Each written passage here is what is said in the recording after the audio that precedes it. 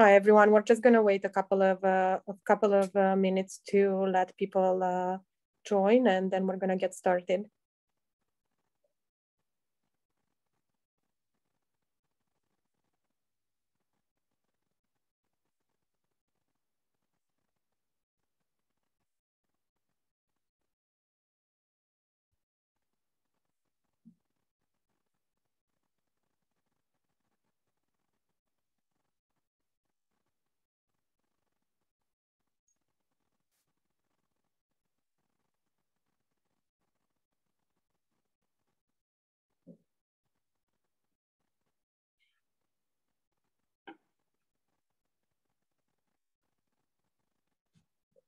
Okay, so I think we can we can start now, and uh, uh, people can still uh, trickle in. Welcome everyone to the Health Law Institute seminar series. Um, we have an amazing lineup for uh, for this year that are convening. Our speakers are convening around the theme of health equity and uh, beyond recovery. My name is Adelina Iftene. I am the Associate Director of the Health Law Institute here at Dalhousie, and it is my great pleasure to introduce uh, uh, our first speaker today and to moderate the discussion. Um, before I do that, there are just a couple of uh, housekeeping rules that I would like to share with you. Uh, first of all, this, uh, this uh, seminar is recorded. Uh, there won't be, the attendees are not gonna appear on the video. It's just gonna be um, our guest and myself, but you are gonna be able to rewatch this on the Schulich School of Law's YouTube channel.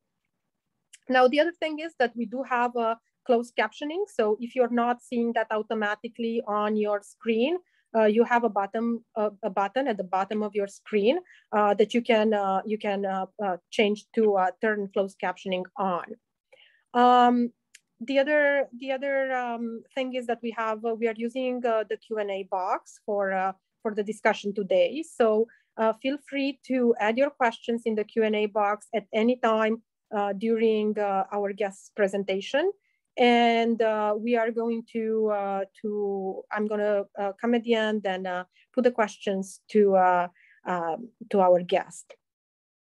So without further ado, I'm going to introduce the, our, uh, our guest today, uh, Dr. Fifa Rahman, uh, who has over 12 years experience working in global health she is uh, presently uh, a permanent NGO representative on the WHO Access to COVID-19 Tools Accelerator, uh, representing global NGOs in meeting with heads of global health agencies in the global COVID-19 response and in various working groups on COVID-19 country support. She was also formerly a board member for NGOs at uh, UNITAID, working on equitable access to HIV, TB, malaria, and cervical cancer tools. She has been on numerous missions uh, to uh, HIV facilities globally, including to early infant diagnosis programs in uh, Mozambique, HIV uh, self-testing programs in rural areas of Zimbabwe, uh, dissuasion commission programs in Lisbon, and needle and syringe programs in uh, Scott County, Indiana, at the height of the HIV pandemic epidemic. As founder and principal consultant of the global health consultancy Matahari Global Solutions, she is currently working on strategy development for TB organizations, on mapping access to COVID-19 uh, tools in uh, low and middle uh, income countries, and um, in, uh, in mapping opportunities in the, uh, in the right uh, to health for Amnesty International. We are uh, very lucky to have uh, Dr. Rahman here today with us, and she is going to talk about um, the lessons in inequity that uh, COVID-19 has globally created.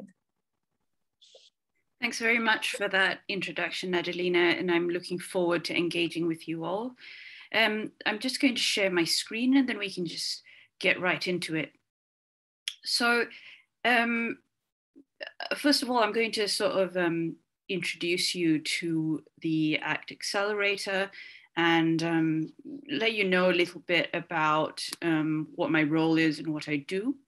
Um, so, this is the structure of the ACT Accelerator. Uh, and the ACT Accelerator obviously stands for the Access to COVID Tools Accelerator, which you know hosts hosts also the COVAX underneath it.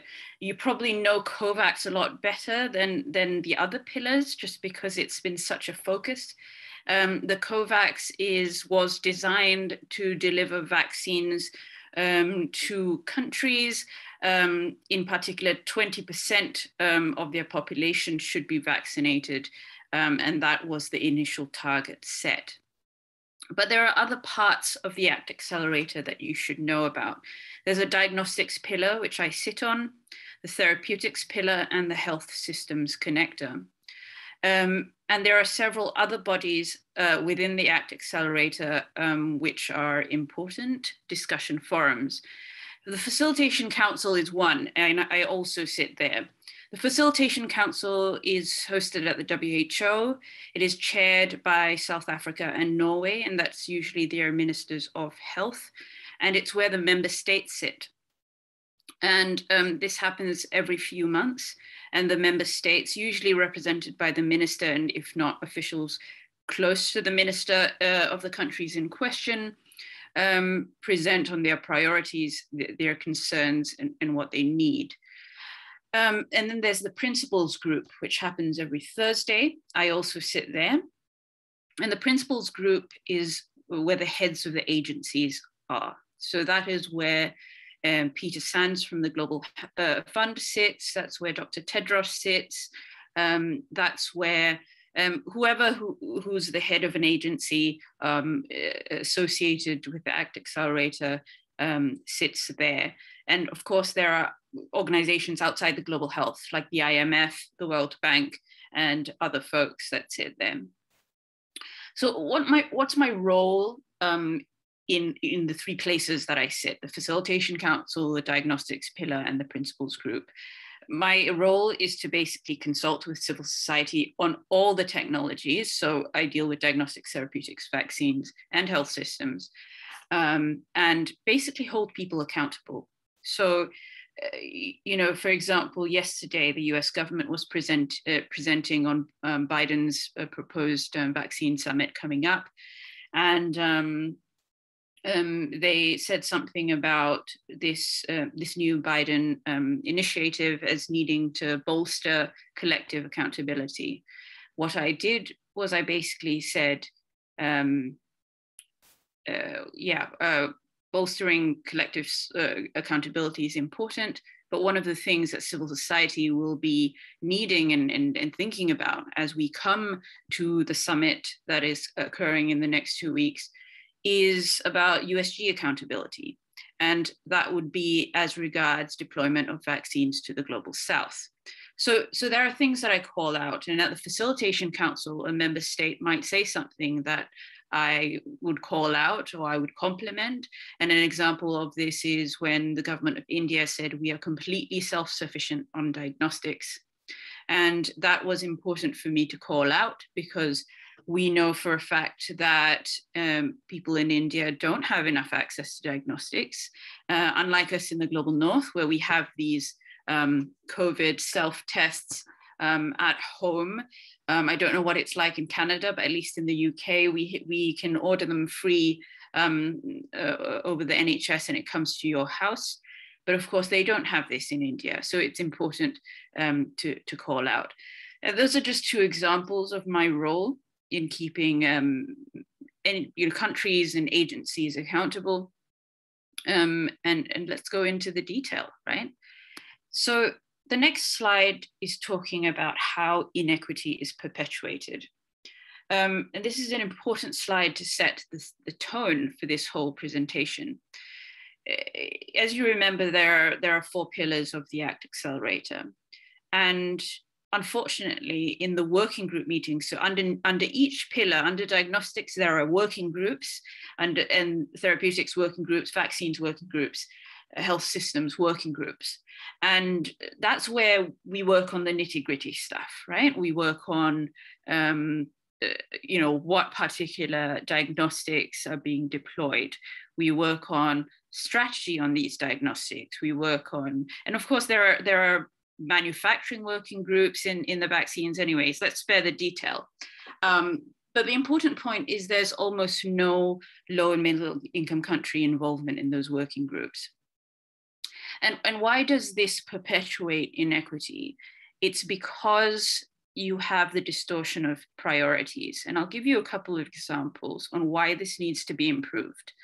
Um, and, and the first example is probably on the DRC and South Sudan vaccine return to COVAX.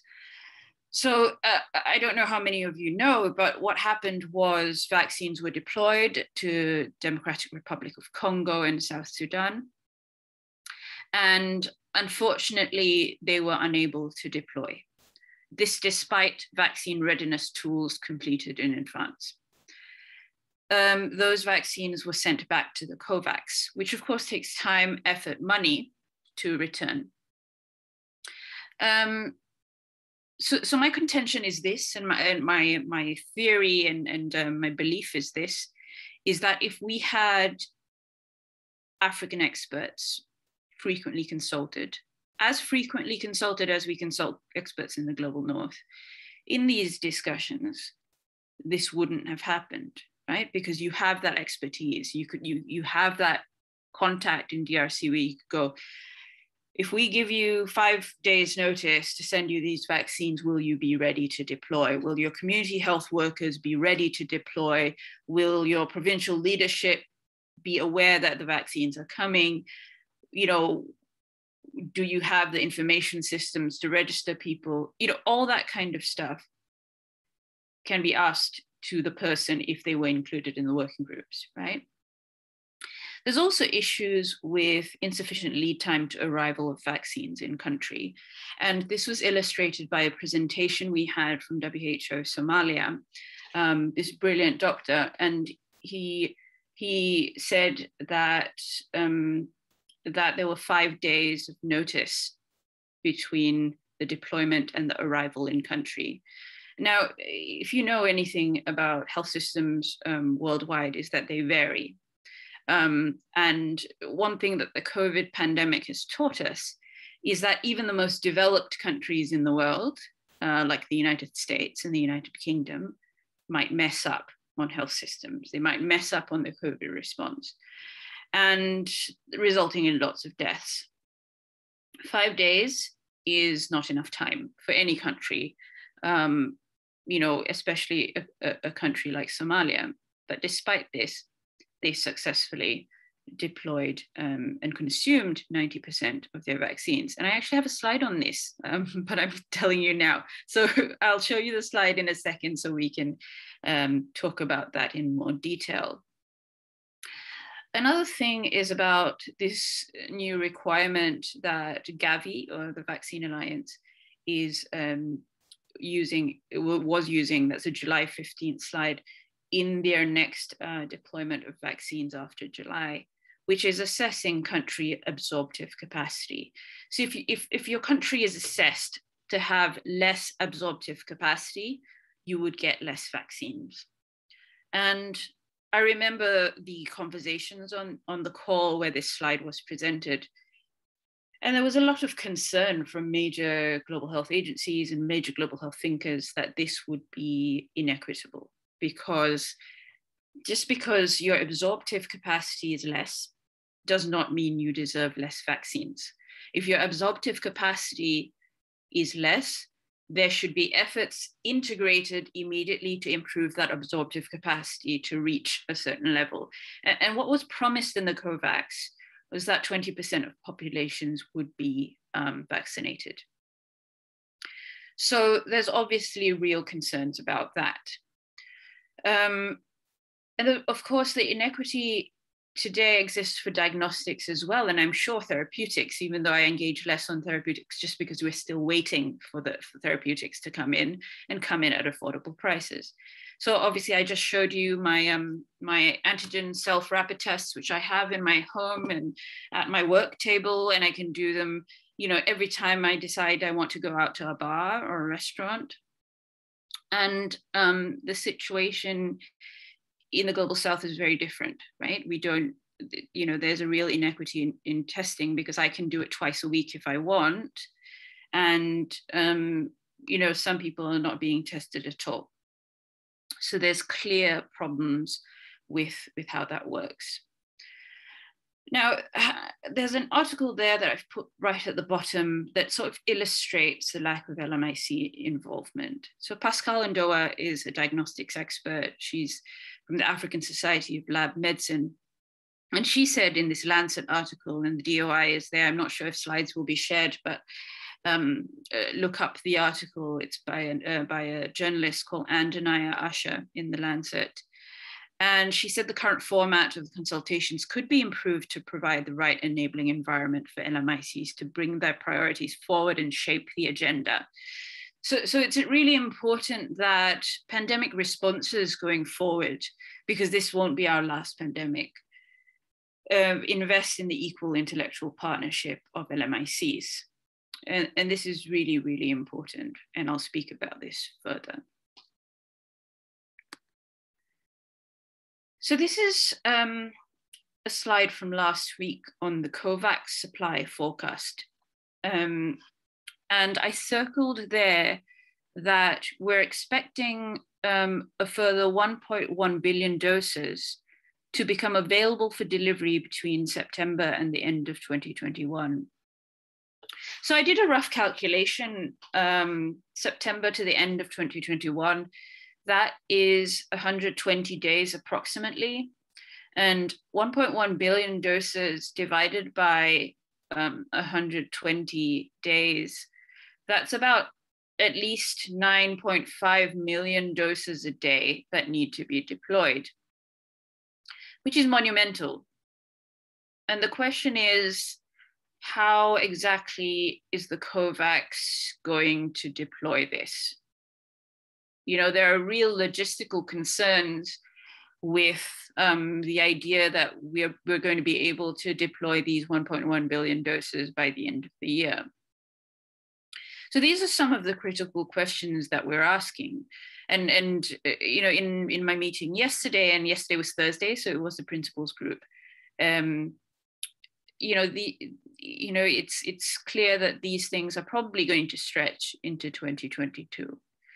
So another interesting thing that is coming out of the supply forecast is that Gavi is is changing its tone a little bit, and and we've of course been demanding sort of transparency, increased transparency on delivery schedules, because it hasn't been clear to us when, say, you know, pick any country. When is Haiti going to get their next tranche of vaccines? When is Somalia going to get their next tranche? When is Mozambique going to get their next tranche? That's not clear to us at all. And it's not clear to Gavi because what's been happening in the recent meetings with Gavi is that they said that they are demanding increased transparency from industry because industry is not being transparent about when the vaccines are coming. So overall, there's a lot of opacity in, in, in how people are doing things. And this is this doesn't bode well for timely, a timely pandemic response. And this does not bode well for in, for equity.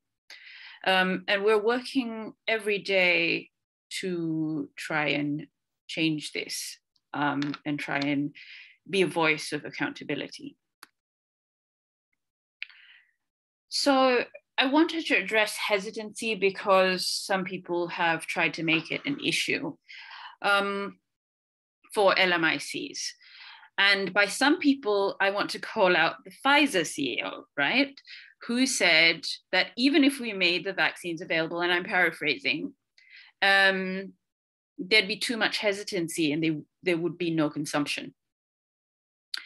So this is so problematic on so many levels.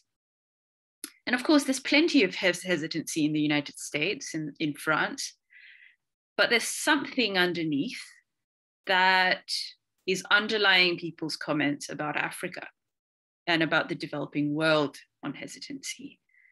And um, this article by Tian Johnson is really worth reading because there is no doubt that there is racism ingrained in, in what people are saying. Uh, there is racism ingrained in the systems right? And to the ACT Accelerator's credit, um, and particularly the diagnostics pillar, I think, um, and um, the Foundation for Innovative Diagnostics, which has been um, more engaging with CSOs, and um, we've been able to shape the agenda more there. Um, um, they've actually introduced country roundtables where countries are speaking and they can exchange their views, and more can be learnt from them there. There's also more being done on the principals group by the chair of the principals group, which is Carl Bildt. He's a fi- former finance minister of Sweden. And, and you know there's been invitations to LMIC experts and, and, and, and things like that to try and improve engagement. But, but it's curious that these things were only done sort of one year into the pandemic and happened only this year. And, and the ACT has been running for one and a half years now. So, so there are real concerns, right? So, so we've been talking about hesitancy a little bit, and you know, the, the fact is, it's not so much an issue of hesitancy, but more of an issue that the supply isn't there. There is inequity in supply, and you've, I'm sure you've heard the term that people are throwing around around it's vaccine apartheid, right? And that there's a real problem with the global health architecture as is on COVID and not taking advantage of community health workers and their role. Now, of course, we could unpack this a lot more, but community health workers are largely unsalaried. The only global health agency that I know of, and, and people can correct me if they know of any others, but um, Global Fund is probably the only global health agency that salaries community health workers. And uh, you know, every other agency provides them sort of a travel per diem um, for for the work that they do. And community health workers are very important. They were very important in the Ebola response when they tackled hesitancy there, right? And I feel like the ACT Accelerator hasn't adequately invested in community health workers.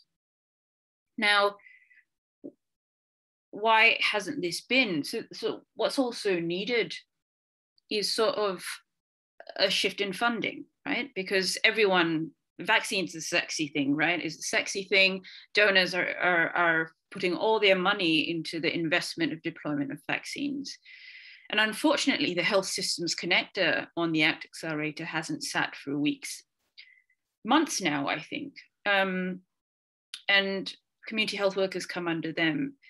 And it's incredibly important that community health workers are funded. And of course, health systems isn't just about community health workers. It's about, uh, my apologies, I have um, a parcel apparently, but I'll keep talking. So um, it hasn't sat for weeks, and the health systems connector is really about um, it, it's about electricity, it's about wash, it's about um, wash meaning water and sanitation, and um, all of that.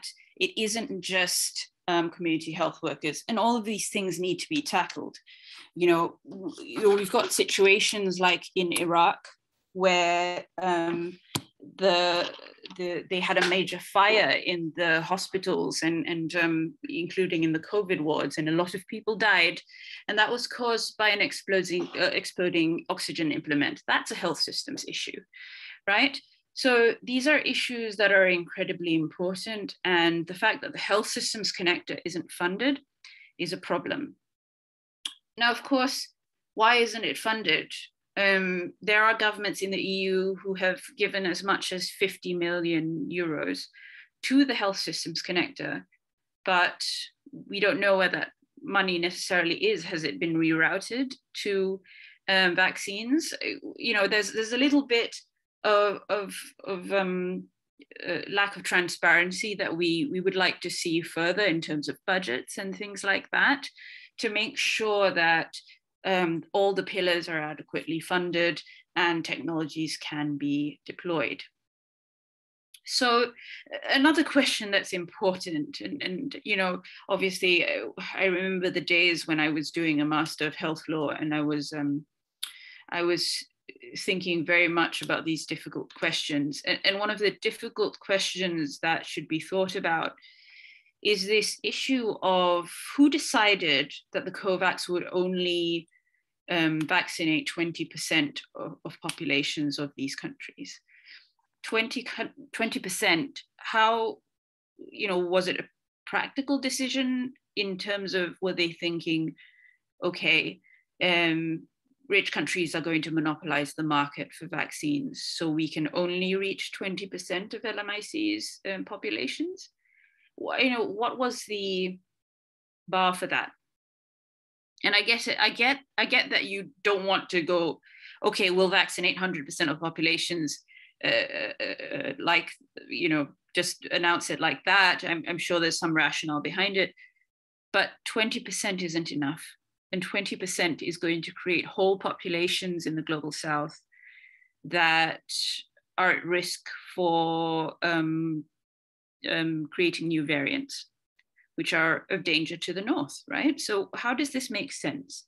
So, these are important questions that need to be um, asked. This was a slide that I already spoke about um, in advance, but um, that I wanted to show you. This was the um, slide um, on the deployment in Somalia. And 90% of the doses were administered despite having um, only five days uh, notice. But you, you, you would think, you know, if they had more days, how much more could be deployed? And uh, Somalia is, of course, a country with a large mobile population. Um, so, it, eh, you know, it, there are concerns also around, you know, what if people don't have a home? What if people are moving um, to different areas? You know, how how are you going to make sure that you administer two doses? Um, but one of the th- things that was quite clear from this presentation by WHO Somalia was that the, the role of the community health workers in reaching out through the communities and bringing elderly people to the vaccination center, bringing um, mobile populations, migrant populations to the um, vaccination center. Um, the role of the community health workers is incredibly important. And this is where health systems overlaps with vaccines. Um, the next slide is going to show something quite stark as well. So um, the number of people um, who received the vaccine um, in a particular age group of five, 50 years and above, only 23%. So yeah, um, it's only 23%. Uh, female were only 18% out of that group, right? So, you know, there's a clear disparity um, in terms of gender. So why are females being less vaccinated? And this is eh, this is why it's sort of so important to take an intersectional approach when we're analyzing um, any global health issue, really, um, especially in vaccine deployment. So women often don't, um, they have limited decision making power on their health. They might not own the transport that is necessary to get there. Um, they also are primary uh, caretakers of families and, and, may not have a place to put their children for, while they get the vaccine. There's so many things that affect access to vaccines, and gender is quite clearly one of them. So, um, this is this is switching to, to um, diagnostics. And I wanted to show you this because the, the inequity isn't, isn't just related to vaccines. And I know people are probably raging at this point um, about, about vaccines, but I'll make you rage even further. Um, there have been a number of bottlenecks, right, in, in deployment of um, rapid tests in particular. And rapid tests are important, especially when you have vaccine inequity, because uh, it helps people control their own risk, right? And it helps economies stay open. Um, so if you are, you're a truck driver um, delivering supplies over borders, um, it, it, would be important for you to have a test done. It's important for care home workers, as you, as you you've probably heard, like in the UK, so many uh, care homes um, had so many COVID deaths, and um, my husband works in a in a care home, and um, he um, gets um, uh, he had we have so many rapid tests just in our home um, it's it's it's probably a lesson in, in inequity in in itself. Um, but he gets tested once a week with PCR, and um, you know he can test many times a week with with rapid tests. So it basically keeps the economies open. Um, it helps people manage risk while while there still is vaccine inequity. Um, so what happened um, in the ACT Accelerator is there was a diagnostics capacity reservation, which sounds fancy, but all it means is that um, the ACT Accelerator reserved manufacturing capacity volumes of the rapid test for two companies for supply under the ACT Accelerator. So they booked the manufacturing space basically. Um, as time progressed, it became quite clear that countries weren't taking up the diagnostics as quickly as they should, right? There was quite low demand for the rapid tests, and everybody was like, why? So, uh, what happened was they commissioned a study to look at bottlenecks. Um, you know, what are the key bottlenecks? What, what, um, what are the issues? Why, why are countries not asking the ACT Accelerator for rapid tests? So there were a number of um, uh, reasons um, that countries gave, which are um, listed there on your screen. But one of the things that I kept hearing, because uh, my job is to outreach to people in country and, and, and ask what's going on. And one of the things we kept hearing is that WHO guidelines are too restrictive. It doesn't allow us to use the tests for what we want to use them. So this was interesting because this was WHO being about bottleneck, right? So what we did was we had a look at the um, the guidelines, and I'll tell you that about that in a minute. But what was clear was that we needed decentralized decentralization of testing. And these are some of the things that countries said, right?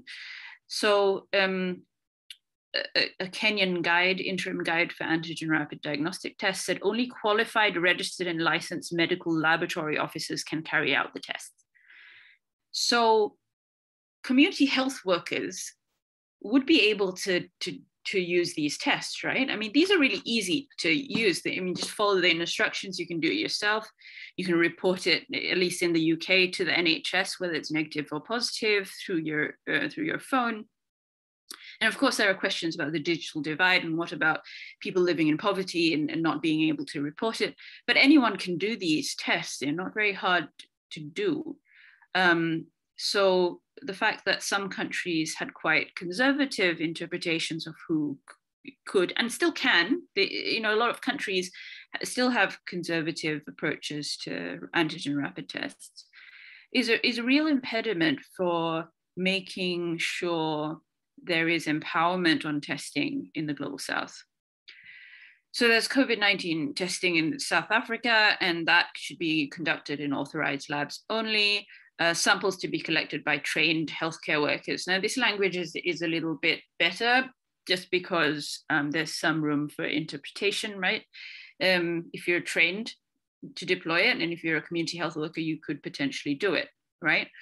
Uh, but it has to be conducted on site rather than at home, which is, you know, you know what we want is for tests to be able to, to be done in communities especially for marginalized communities people who use drugs internally displaced people all all these kind of people you know they need it's better for these tests to come to them in their communities. And a key challenge there is that community health workers um, aren't empowered to do this so um, that's obviously a, a, a real problem. this is the letter that I signed and wrote to the WHO about my concerns with the testing guidelines, that they were too restricted to certain use cases. And use cases is just the word to, to say, you know, where they're being used, right? Um, and we were concerned about the inequity resulting from this. Um, and this, of course, went to Dr. Tedros, Maria Van Kerkhove, and Dr. Soumya, who is the chief scientist of the World Health Organization. Um, and of course, this letter uh, went to them after uh, a principals group call where I was uh, I was raging about it. Really, I was just like, this is this is really problematic. WHO's guidelines are a bottleneck, and um, we we were of course really quite concerned. And uh, one of the things that was said to us was like, if you interpret the guidelines, you can um, you can use these tests in communities. And my problem with that is that if you need creative interpretation to do something in your country, the guidelines are not good enough, right? So that was the concern.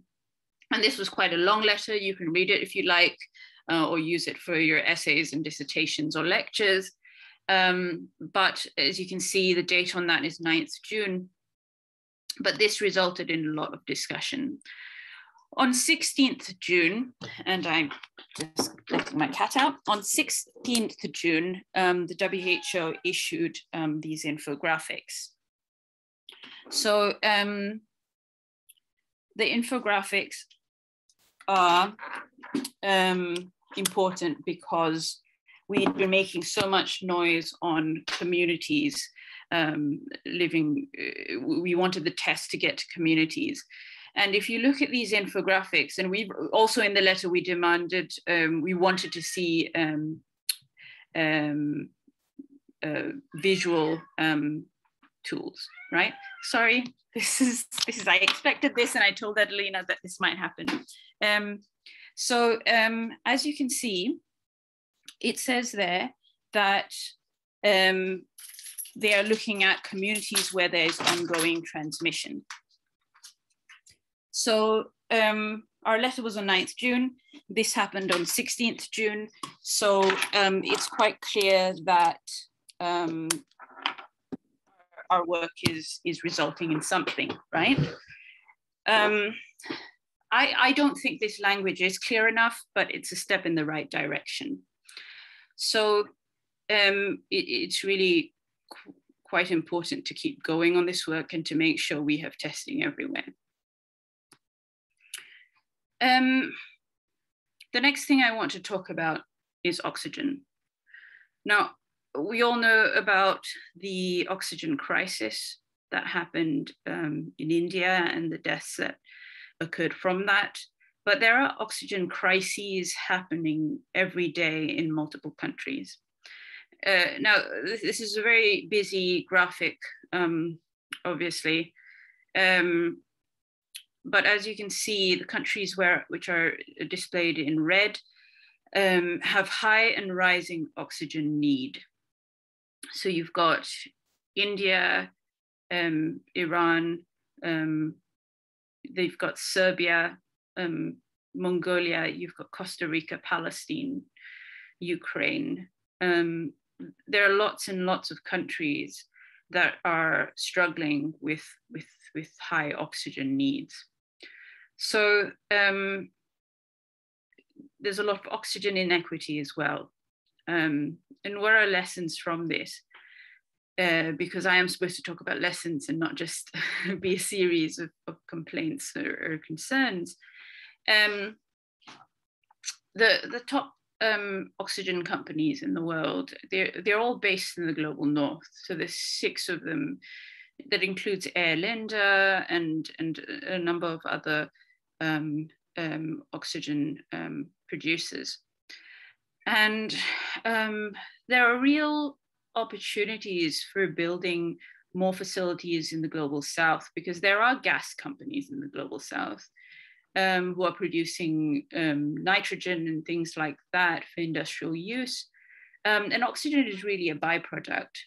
So the question is how do we decolonize and decentralize and make sure that countries in the global south um, um, have uh, manufacturing capacity? Um, there's a lot that needs to be done on supply chain and health systems issues and, and to make sure that this improves for the next pandemic. Um, but as you can see, it continues to be a major problem um, across the world. I wanted to go to therapeutics as well. Um, and um, molnupiravir is um, it's it's there's a lot of buzz around how um, how brilliant it is, um, and sometimes this buzz didn't turn out. There's a lot of buzz earlier about Gilead's remdesivir, but that turned out to be just incorrect, and, and we don't use remdesivir today for um, COVID. But there's a lot of buzz around molnupiravir because it can be used um, as an outpatient treatment. Um, and what does that mean? That means um, someone gets diagnosed with COVID um, potentially at home, right? If they have rapid self tests, they can do that at home. And um, they um, could, I don't know, in a health system, have um, a doctor uh, come to their home and deliver the molnupiravir to them, reducing the risk of them spreading um, COVID to others and infecting others. And they could be treated within the home. So it's exciting right? Um, and this is where health law comes in and the intersection of intellectual property. So there were voluntary licensing agreements with five generics, um, Indian generics manufacturers to accelerate the access to molnupiravir. And um, it's, you know, there's a lot, there was a lot of critique coming out of this because and now I can't remember how many countries allowed it to supply it to, but it was I think 105 countries or something like that, um, who would get access to the generic molnupiravir. But there are more than 105 countries in the world. Um, who chooses these countries? Um, are countries like Russia included? Probably not. Are countries like China included, where there's a massive poverty problem um, included?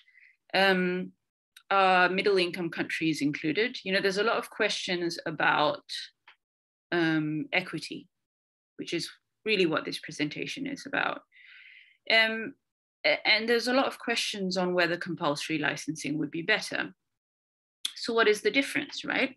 A voluntary, voluntary, voluntary licensing is basically where the company voluntarily does it, right? And compulsory licensing is where uh, usually the country uh, the country who wants the cheaper generic medicines has to negotiate with the company um, to say okay are you able to give us a cheaper price right and if the country, country the company goes no we can't give you a cheaper price um, then the, the, uh, the country can override the patent.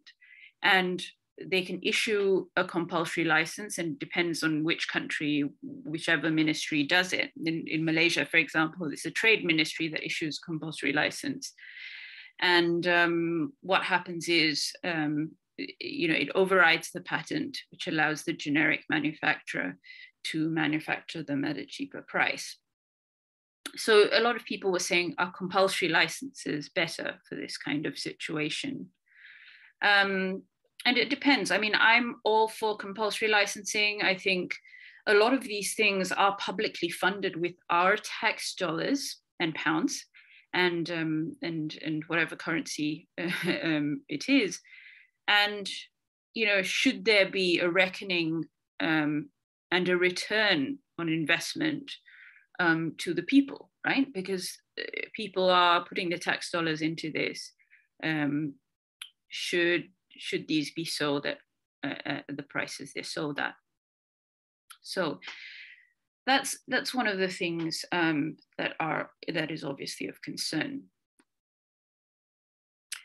Uh, and I wanted to go to health systems um, now, and obviously I've talked about health systems throughout because health systems is so linked to every one of the issues that we've discussed so far.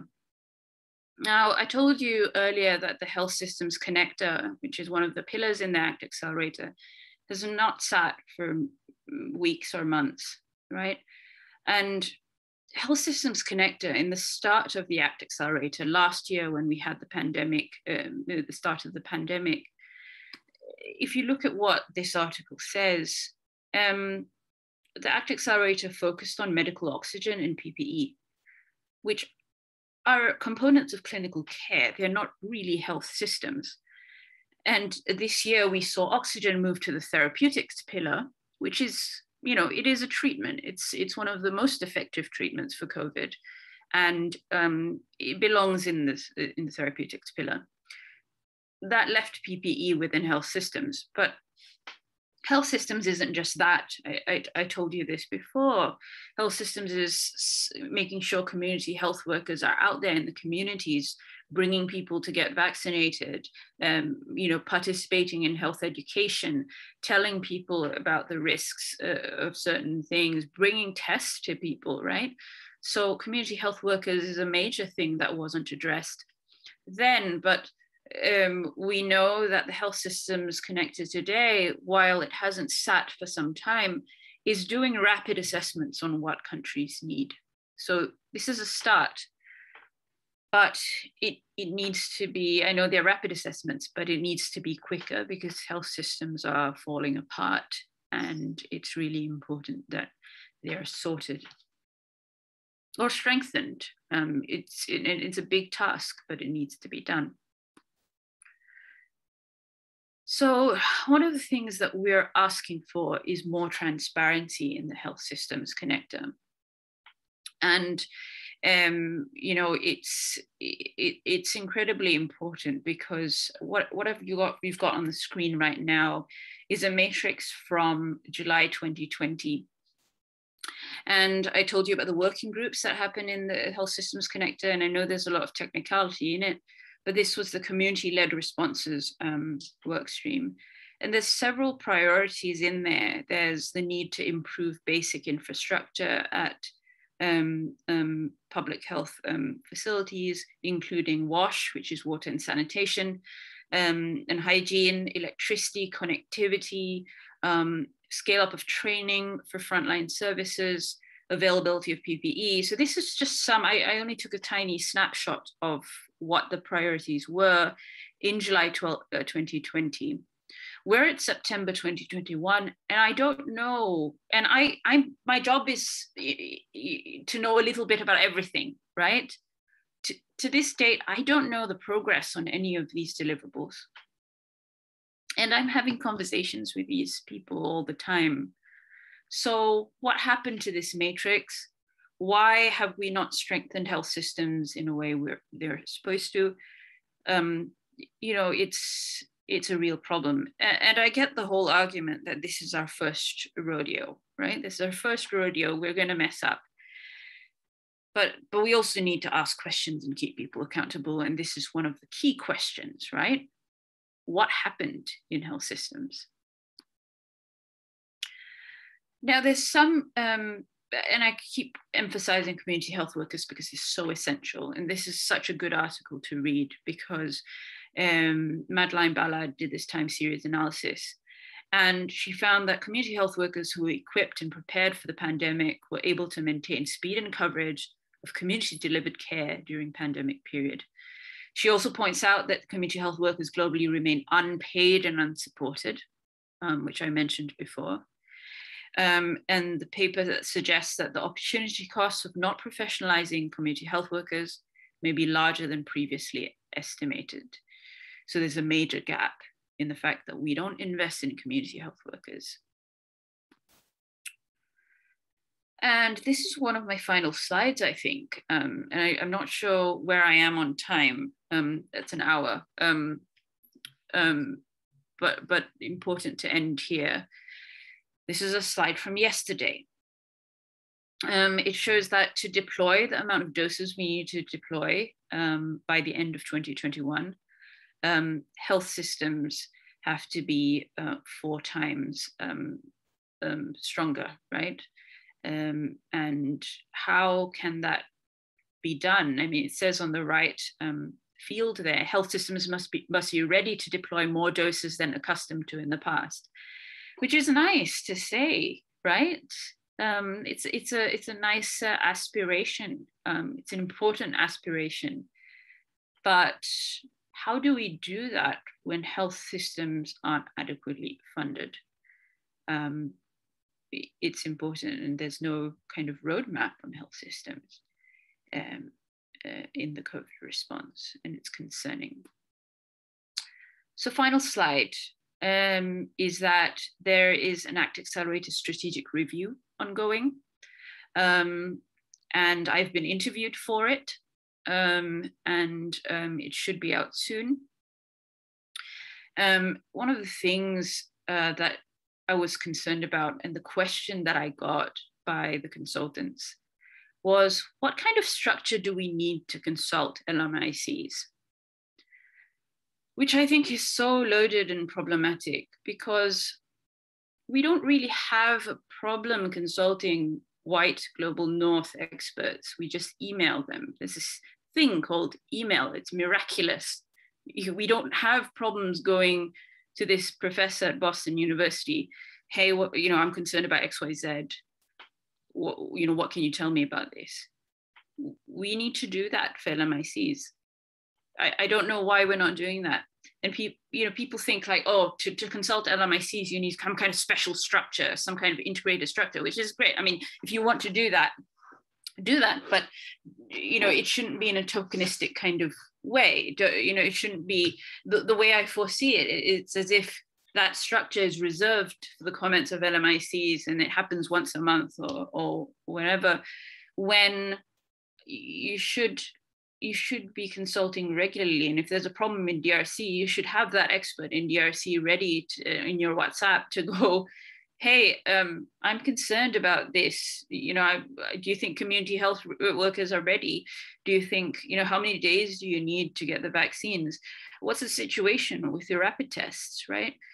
Um, which leads to the larger question of um, the fact that we need to decolonize global health architecture and we need to um, quite clearly make some basic statements to, to people running things, right? Um, you know, why why didn't you consult a DRC expert? Why didn't you consult somebody in South Sudan?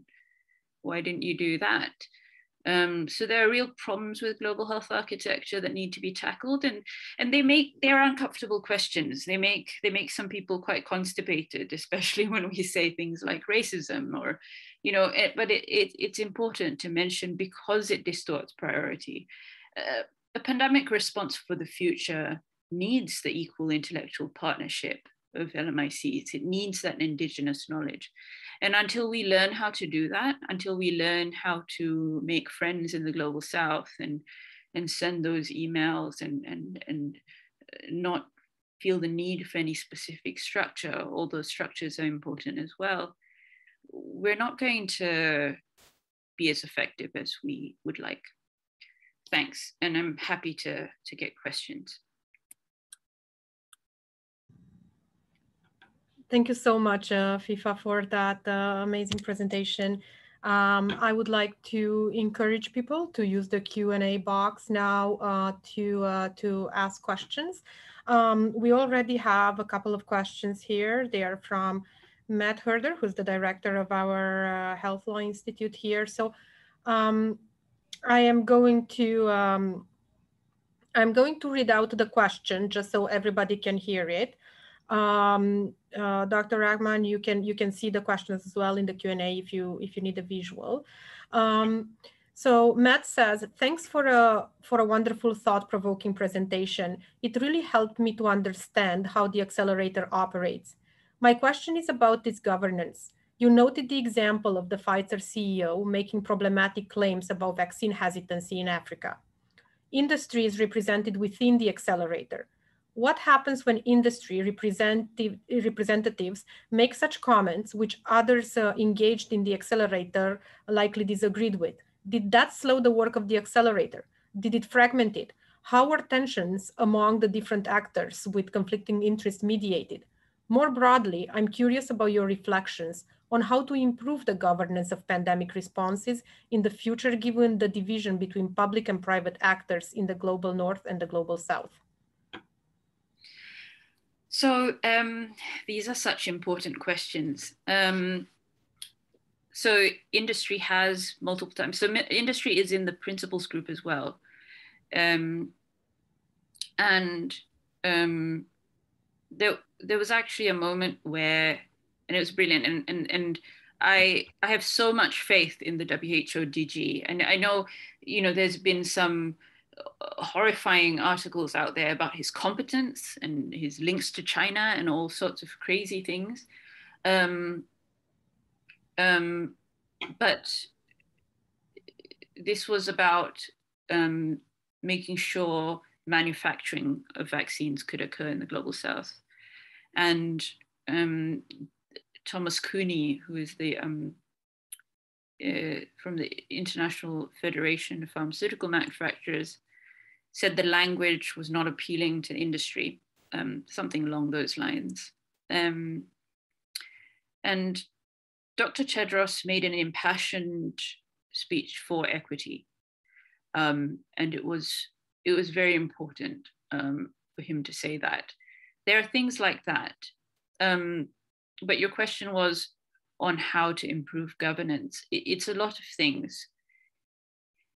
It's, I mean, industry has its uses, right? I mean, they are the ones producing the vaccines. Um, but at the same time, you know, governance needs to be improved so much. And, and for example, the vaccines pillar didn't have CSOs uh, till much later. Um, all the other pillars had civil society much earlier. Um, and, the, the answer in the global south and the global north that that unfortunately requires us to engage with with questions that make us uncomfortable. Um, and i know michelle bachelet she said we need to tackle systemic racism to uproot it. And that's it racism. And, and it's it's funny how many people just recoil at this word. They're okay with diversity and inclusion but they're not okay with the word racism. And it really needs to be sorted because it's endemic in global health. Um, and um, governance structure wise um, it's it's um it's hard to say because in in in the ACT-A there isn't just one decision making um uh, place you know it, it happens across multiple um working groups. It happens behind the scenes. It, it happens at the facilitation council. It happens at the principals group. They happen everywhere and maybe some kind of specification as to where decisions are made would help.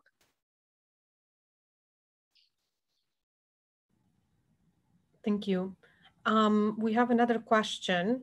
Um, so thinking about the periods in between pandemics and epidemics, what are the policy levers uh, and strategies that might help to ensure equitable access of infectious disease uh, interventions? And then there is an explanation here. Um, in asking this question, I'm thinking about how universities and other public research institutions have let us down. The lipid delivery system that uh, is integral to Pfizer and Moderna vaccines came out of the University of British Columbia. And UBC's tech transfer office has been lauded for having strong principles of global access. Yet, none of those principles seem to have been applied to ensure that the delivery system could be licensed out to entities in the global south. So if universities won't follow through, at least not voluntarily, what other strategies and policy levers might be deployed instead? I think it's a really good question. And I'm thinking immediately of the WHO transparency resolution um, um, and how we, we need more discourse and how the global health architecture is broken and how the voluntary system doesn't work. Because we had this wondrous um, transparency resolution. Well, not wondrous because I know a lot of things were deleted from it. Um, but in the end, it said that, that countries would commit to being more transparent about the, the, the costs of R&D, the ori origins of R&D into, into uh, global uh, medical tools and, and, you know, like, uh, and, and to, to relate the cost to, to, to that, right? Um, so uh, but you know what what has been the progress on the transparency resolution? What accountability mechanisms has been on has has occurred on that? We don't know if you know which countries have been more transparent with with uh, you know where you know where these tools came from. And you know whatever is in the transparency resolution needs to be applied to universities as well like what what did you contribute to this? You know how much of your money is publicly funded? Um, you know why what's the recipe right? And, and, one of the things that we're thinking about is um, uh, you know what there should be is a whistleblower blowing line either hosted by you know maybe human rights organizations could host a whistleblowing line for for people within universities that develop these things or you know within companies even. So so if there's a a Pfizer scientist who wants to come out and, and call the whistleblowing line and say, I have this bit of recipe uh, of the vaccine or, or, things like that that that's that's another thing that that we need to use creative ways to get to these things just because um, they're just not going to to happen with voluntary mechanisms.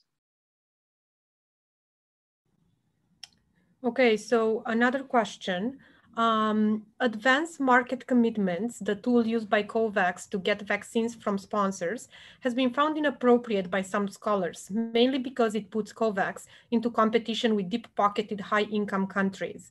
What has been your experience or observation with the uh, advanced market commitments? Thanks so much for this question, and it's um it's a it's a it's a real problematic one because um, one of the things that we've been concerned about is the UK, of course, dipping into the doses with, uh, with COVAX. And I've, you know, I've just been really, these are, Global South need the doses and the UK, and, and I live in the UK, and, and we have at least four or more, like uh, some articles say seven, four, nine. Uh, we have at least four or more doses per person so uh, the UK has completely overbought and, and, and monopolized the market. Um, and yet they got doses from, from COVAX. Now, Gavi's response has been to the uh, um, has been that they need to honor their agreements. Um, it's it's of course problematic. You're correct, um, and and now we know better. But you, the, the, the good thing is, I suppose, is that um, a lot of the countries who have overbought vaccines, they have enough vaccines for their countries, are now saying we don't want um, the allocation that was provided to us um, under the COVAX. So, so that's good, but it's voluntary. There's no way to compel them to say no to their COVAX doses, you know, and there are countries like the UK who will keep saying yes. Um, and this is obviously digging into the supply from the global south. So definitely problematic. Do I have an answer to how to solve it for the next pandemic to not allow it? But for now, what do we do? Um, welcome to your suggestions. Okay, so we have time for one more question. I'm just going to, and we're going to end here because I think that's a that's a question that a lot of people have, um, and it's about the boosters. Do folks within the accelerator worry about the impact of boosters on the global vaccine supply? Um, any counter strategies apart from the important statements that Dr. Tedros and other global health advocates have already made? Counter strategies you know it's it's something that i'm sure my colleagues in the vaccines pillar are thinking about. Right now our latest update is that that you know folks in the WHO are not going to uh, issue any recommendations on them at this stage. There is some evidence that um, that they are beneficial for immunocompromised people um, you know that could be elderly people or people um, cancer survivors and, and, and things like that, which is like, okay, fine, but it's clearly going to dig into to, to markets when most countries haven't even been vaccinated by 1%. It's so problematic. And uh, strategies, tough question. Maybe, maybe Matthew, you and I need to sit down and, and strategize together on, on how to um, how to how to solve these problems. Um, but it's it, it's a big question and, and question I don't actually have the answer to. but but it's an important one, and, and we need to um, try to figure out. But you know, vaccine manufacturing in the global south is clearly clearly uh, something that we need to to, to think about. Um, it's it's the whole global global health architecture, and I know it sounds like a broken record, but it, it is heavily broken, and and um, sort of pandemic profiteering we're seeing is is insane. So um, more conversations to be had to get the to the answers. Um, thank you so very much. You have some uh, some uh, some thank yous in the in the chat as well from people. I think uh, uh your talk was really well received, and we're very grateful for you for uh, taking the time uh, to join us today for our for our seminar in this very important conversation. Um, and as I said, the the the recording will be available on the YouTube video for those who want to rewatch or share. Um, and our next uh, our next seminar is going to be October 8th with uh, Dr. Holly Northam of University of Canberra talking about um, restorative approaches to remove institutional and professional barriers to uh, human flourishing. Also is going to be um, online via Zoom. Uh, thank you again so much, Dr. Rahman, and uh, thank you for sharing uh, your knowledge and for the important work that you are doing. My and pleasure, and, and thanks so much for having me. Thank you.